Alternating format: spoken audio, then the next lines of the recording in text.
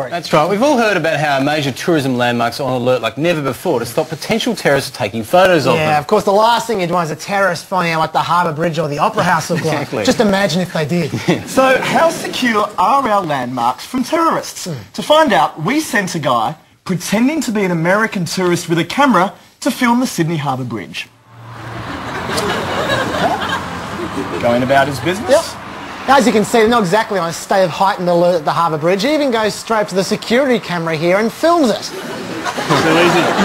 Too easy. Still, after 14 minutes, not a guard in sight. But what happens if someone dressed slightly differently starts snooping around?